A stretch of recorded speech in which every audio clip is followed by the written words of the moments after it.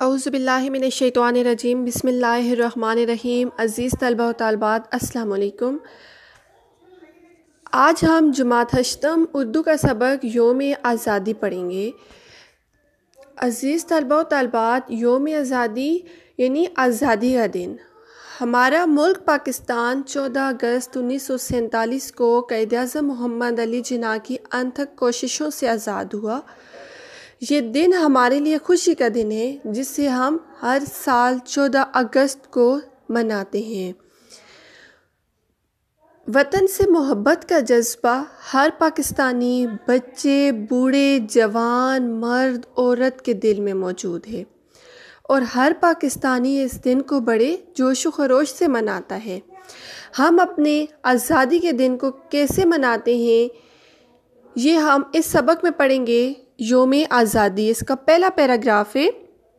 योम आज़ादी का दिन था। पूरी कौम जश्न आज़ादी मना रही थी। हर तरफ़ जश्न का समा था। लोगों ने अपने अपने अंदाज में कौमी परचम अपनी सवारियों पर सजा रखे थे। चंद रोज़ पहले सख्त गर्मी थी, लेकिन 12 अगस्त से मानसून हवाओं का सिलसिला दोबारा शुरू हो गया था। इसलिए मौसम खुशगवार था। यानी आज़ादी का दिन था और पूरी कौम खुशियाँ मना रही थी। हर तरफ़ खुशियों का मंजर देखने को मिल रहा था। लोगों ने अपने कौमी परचम को अपनी सवारियों पर सजाया हुआ था। कुछ रोज़ पहले कहते हैं, शदीद सख्त गर्मी थी, लेकिन जब 12 अगस्त के बाद मानसून हवाओं का सिलसिला शुरू हुआ तो 14 अगस्त तक मौसम खुशगवार हो चुका था। धूप का कहीं नाम और निशान ना था। आसमान पर बादल छाए हुए थे। ठंडी ठंडी हवा चल रही थी। एक रोज़ कबल मौसलाधार बारिश हो जाने की वजह से हर शे निखरी निखरी दिखाई दे रही थी। यूँ लगता था जैसे दरख्तों के नए पत्ते निकल आए हों। यानी आस, धूप कहीं भी नहीं थी और आसमान पर बादलों ने अपने डेरे जमाए हुए थे। ठंडी हवाएँ चल रही थी। एक रोज़ पहले, यानी तेरह अगस्त को जब तेज़ बारिश हुई तो इसके बाद हर चीज़ निखरी निखरी खूबसूरत दिखाई दे रही थी। ऐसे लगता था जैसे बारिश का पानी जब दरख्तों के पत्तों पर पड़ा तो वो ऐसे धुल गए जैसे वो अभी नए निकले हों। बिलाल अपने चार हम जमात और उस्ताद के हमरा बैनल, सूबाई मिली नगमों के मुकाबले में शिरकत के लिए जा रहा था। बिलाल शिरकत के लिए किसके साथ था? अपने चार हम जमातों और उस्ताद के साथ था, जो सूबों के दरमियान मिली नगमों का होने वाला मुकाबला था, उसमें शिरकत के लिए जा रहा था। वजारत तालीम के ज़ेर अहतमाम होने वाले इस मुकाबले में हर सूबे से एक एक टीम ने हिस्सा लेना था। चारों सूबों के अलावा एक एक टीम गिलगित बल्तिस्तान, आज़ाद जम्मू और कश्मीर और कबायली इलाका जात से भी आ रही थी और एक टीम इस्लामाबाद की थी। बिलाल अपने साथियों के हमरा इस्लामाबाद से शिरकत करने वाला था। यानी चारों सूबों में एक एक टीम ने हिस्सा लेना था। एक टीम गिलगित बल्तिस्तान की थी, एक आज़ाद जम्मू कश्मीर की भी और एक कबायली इलाका जात से भी टीम आई थी और एक इस्लामाबाद की भी थी। और बिलाल इस्लामाबाद से शिरकत करने वाला था। पैराग्राफ नंबर दो में है कि बैनल सूबाई मिली नगमों की ये तकरीब कम्युनिटी सेंटर अपारा के खूबसूरत हाल में मुनद हो रही थी। यानी सूबों के दरमियान जो मिली नगमों का मुकाबला होने वाला था, इसकी तकरीब कम्युनिटी सेंटर अपारा के एक हाल में तैयार हुई। हाल को इंतहाई खूबसूरती से सजाया गया था। स्टेज के दोनों जाने बानी पाकिस्तान जिन्होंने पाकिस्तान को बनाया, हज़रत कायद अज़म मोहम्मद अली जना और मुफ़क्र पाकिस्तान, जिन्होंने पाकिस्तान का तस्वुर पेश किया, हज़रत इलामा इकबाल की तस्वीर आवेज़ा थी। यानी स्टेज के दोनों तरफ़ कायद अज़म मोहम्मद अली जना और इलामा इकबाल की तस्वीरें लटकी हुई थी। हाल तलबा इस और सिविल सोसाइटी के दीगर अफराद से खिंचा खच भरा था। हाल में तलबा थे इस थे और आम शेरी थे। तमाम टीमें हाल में पहुँच चुकी थीं। सब लोग मेहमान खसूसी के मुंतजर थे। यानी जिन जिन टीमों ने शिरकत की थी, वो सब अब हाजिर थीं। अब मेहमान खसूसी का इंतज़ार हो रहा था। इन वक्त पर ठीक नौ बजे सुबह मेहमान खसूसी तशरीफ़ ले आए। मुंतजमीन तकरीब ने पुरतपाक तरीके से मेहमान खसूसी का इस्तबाल किया। यानी जिन्होंने तकरीब को मुनद किया था उन्होंने बड़े जोश से मेहमान खसूसी का इस्तकबाल किया। हमदर्द फाउंडेशन के बानी हकीम मोहम्मद सहीद मेहमान खसूसी थे। जब वो हाल में रौनक अफरोज़ हुए तो तमाम लोगों ने खड़े होकर और तालियाँ बजा कर उन्हें खुश आमदीद कहा। यानी जब वो हाल में हाजिर हो गए, उन्होंने अपना जलवा दिखा दिया तो लोग उनके अदब व एहतराम में खड़े हुए और तालियाँ बजा कर उन्हें खुश आमदीद कहा। पैराग्राफ नंबर तीन है कि फिर जब मेहमान खसूसी हाजिर हो गए तो तकरीब का आगाज़ तिलावत कुरान मजीद से हुआ। कारी साहब ने सूरत रहमान की चंद आयात तिलावत की। तिलावत कुरान मजीद के बाद जनाब रसालत सल्लल्लाहु अलैहि वसल्लम की बारगाह में गुल्हाए अकीदत पेश किए गए। नात ख्वान ने बड़े खूबसूरत अंदाज में यह नात पेश की, सबसे ऊला हो आला हमारा नबी सल्लल्लाहु अलैहि यानी जब तकरीब का आगाज़ शुरू हुआ तो कुरान मजीद की तिलावत सबसे पहले हुई और कारी साहब ने सूरत रहमान की चंद आयात की तिलावत की। इसके बाद नात पेश की गई। नात हुआ ने जो नात पेश की वो है सबसे ऊला आला हमारा नबी। पैराग्राफ नंबर चार में है, स्टेट सेक्रेटरी ने तकरीब की गर्ज गायत बयान करते हुए मिली यकजहती की अहमियत पर रोशनी डाली। यानी असल मकसद की वजाहत करते हुए कौम के मुतहद होने की अहमियत को बयान किया और कहा, वतन अज़ीज़ का असूल मुसलमान बरसग़ीर की जदोजहद और कुर्बानियों का समर है। यानी जो वतन अज़ीज़ हमारा मुल्क पाकिस्तान है, ये हमें मुसल बरसग़ीर के मुसलमानों की बेानतहा कोशिशों और उन्होंने जो कुर्बानियाँ दी, उनकी वजह से हासिल हुआ है।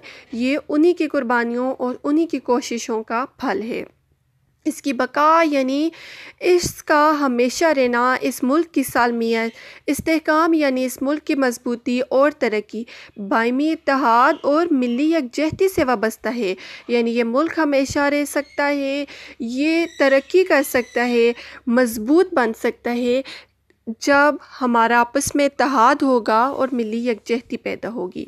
पाकिस्तान की मिसाल एक फूल की मानद है चारों सूबे, आज़ाद जम्मू कश्मीर, गिलगित बल्तिस्तान और कबायली इलाका जात इसकी पत्तियाँ हैं। यानी हमारा मुल्क एक फूल की तरह है। और चारों सूबे, आज़ाद जम्मू कश्मीर, गिलगित बल्तिस्तान और कबायली इलाके जात इसकी पत्तियाँ हैं, जिनसे मिलकर फूल बनता है। किसी भी पत्ती के बग़ैर फूल अधूरा है। यानी इन तमाम पत्तियों से फूल बनता है। हमारा मुल्क खूबसूरत तब है जब इसकी ये सारी पत्तियाँ, यानी तमाम सूबे आज़ाद जम्मू कश्मीर, गिलगित बल्तिस्तान और कबायली इलाका जात आज़ादी से ज़िंदगी बसर करेंगे और खुशहाल ज़िंदगी बसर करेंगे। तब ये फूल एक मुकम्मल फूल कहलाएगा।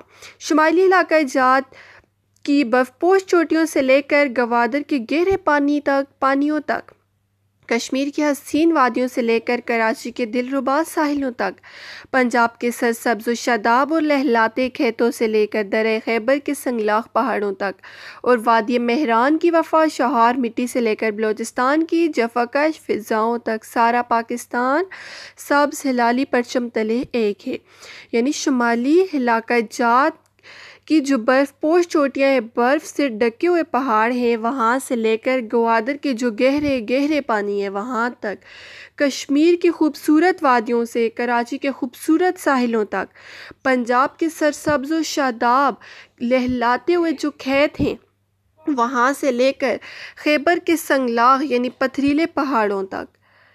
वादी महरान की वफ़ा शहार, वादी महरान की जो लोगों में वफ़ा कूट कूट कर भरी हुई है, उनकी वफ़ा शहार मिट्टी से लेकर बलोचिस्तान के जफाकश फ़िज़ाओं तक, यानी वहाँ के जो लोग मेहनती हैं, ये सब पाकिस्तान, सब, सारे पाकिस्तानी, सब हिलाली परचम तले एक हैं। हमारा जो झंडा है, उसके नीचे सब एक हैं। पैराग्राफ नंबर पाँच में है सबसे पहले बानी पाकिस्तान के शहर से आने वाले तलबा को बुलाया गया। स्टेट सेक्रेटरी ने बड़े दिल नशीन अंदाज में कहा कि आसिम और उसके साथी मिली नगमा पेश करेंगे। उन्होंने जमीलुद्दीन आली का लिखा हुआ, ये मिली तराना पेश किया। जीवे जीवे जीवे पाकिस्तान। यानी बानी पाकिस्तान के शहर से आने वाले तलबा को स्टेट सेक्रेटरी ने खूबसूरत अंदाज में बुलाया। आसिम और उसके साथी आए। उन्होंने जो मिली नगमा पेश किया, वो जमीलुद्दीन आली ने लिखा था और वो नगमा था जीवे जीवे जीवे पाकिस्तान। इसके बाद शुमाली इलाके जात से आई हुई टीम को मदहू किया गया, यानी शुमाली इलाके जात से आई हुई टीम को बुलाया गया। स्टेट सेक्रेटरी ने तालियों की गूंज में मोहम्मद नूरुल्लाह और साथियों को दावत दी और कहा कि वतन की मोहब्बत से सरशार ये टीम आपके सामने एक मिली नगमा पेश करेगी। उन्होंने सैयद जैदी नज़र, सैयद नज़र जैदी का ये गीत पेश किया, ए पाक वतन तेरी गलियों को सजा देंगे। यानी जब शुमाली इलाका जात से आने वाली टीम को बुलाया गया तो उन्होंने सैयद नज़र जैदी का गीत पेश किया, जो कि है ए पाक वतन तेरी गलियों को सजा देंगे। पैराग्राफ नंबर सात में क्या है कि तीसरे नंबर पर स्टेट सेक्रेटरी ने बलूचिस्तान से आने वाले तलबा को दावत दी। उन्होंने पाकिस्तान के तमाम सूबों के इलाकाई लिबास से बेतन कर रखे थे। एक बच्चा मुसलसल कौमी परचम लहरा रहा था। अख्तर और साथी झूम झूम कर डॉक्टर महमूद रहमान का लिखा हुआ ये गीत गा रहे थे, हम एक हैं, हम एक हैं। इस कौमी नगमे की सुनते ही हाल तालियों से गूंजता रहा। यानी जो तलबा बलोचिस्तान से आए थे, जब उनको स्टेज पर दावत दी गई तो उन्होंने तमाम सूबों के इलाकाई लिबास पहन रखे थे और उनमें एक बच्चा कौमी परचम को लहरा रहा था। अब जिन्होंने मिली नगमा स्टेज पर आकर पेश किया, वो अख्तर और उसके साथी थे। उन्होंने महमूद रहमान का लिखा हुआ गीत गाया था, हम एक हैं, हम एक हैं। इस कौमी नगमे के सुनते ही हाल में लोग तालियाँ बजाते रहे, पूरा हाल तालियों से गूंजता रहा। चौथे नंबर पर आज़ाद जम्मू और कश्मीर से आने वाली टीम को बुलाया गया। उन्होंने इलामा इकबाल का मशहूर और मरूफ मिली तराना पेश करके हाजरीन के दिल मोह लिए। यानी लोगों के दिलों को अच्छा लगा उनका मिली नगमा। राजा रियाज और साथी गा रहे थे। कौन सा मिली नगमा था? चीनो अरब हमारा, हिंदुस्तान हमारा, मुस्लिम है हम, वतन है सारा, जहाँ हमारा। इसके बाद सूबह हैबर पख्तूनख्वा से आने वाले तलबा को बुलाया गया। अरशद खान और उसके साथियों ने जनाब अहमद राही का ये दुआया तराना गाया।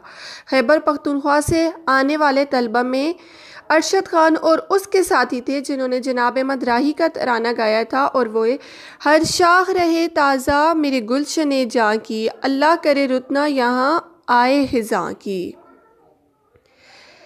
पेस टेस्ट कैटरी ने कबायली इलाका जहाज़ से आने वाले तलबा को मिली नगमे के लिए बुलाया।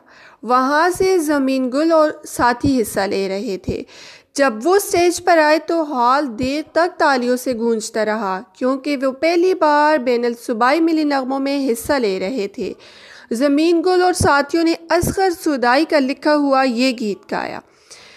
कबायली इलाका जात से जो तलबा आए थे, उन्होंने पहली बार सुबह के दरमियान मिली नगमों का जो मुकाबला मनद हुआ है, उसमें हिस्सा लिया था।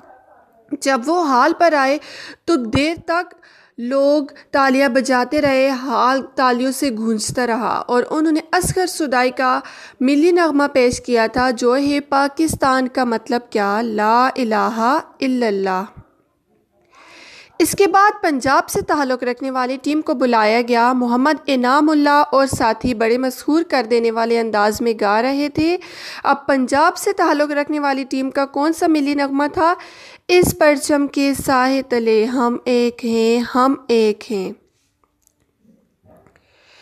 सबसे आखिर में मेज़बान शेर के तलबा ने मिली नगमा पेश किया।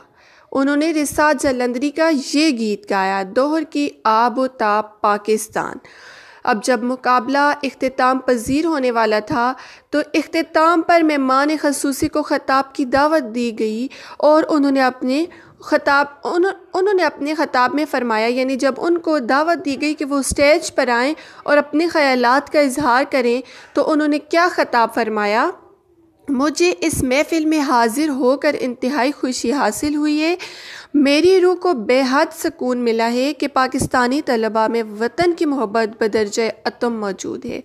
मुझे यकीन है, ये नस्ल पाकिस्तान को ज़्यादा मज़बूत, ज़्यादा खुशहाल और ज़्यादा सेहतमंद बना देगी। यानी उन्होंने क्या कहा कि इस महफ़िल में आकर, इस तकरीब में हाज़िर होकर मुझे खुशी मिली है और मुझे सुकून और इतमान नसीब हुआ है कि हमारे वतन के तलबा में वतन की मोहब्बत मौजूद है। उन्होंने कहा कि मुझे इस बात का यकीन है कि यही नस्ल, यही तलबा हमारे मुल्क को ज़्यादा मज़बूत, खुशहाल और सेहतमंद बनाएँगे। उन्होंने उन्होंने तलबा को नसीहत करते हुए कहा कि आप सिर्फ़ और सिर्फ़ अपनी पढ़ाई पर तवज्जो दें। ये मत देखें कि कौन क्या कर रहा है, बल्कि सिर्फ़ ये देखें कि आप क्या कर रहे हैं। सिर्फ़ अपने आप को ठीक करें, सारा पाकिस्तान खुद ब खुद ठीक हो जाएगा।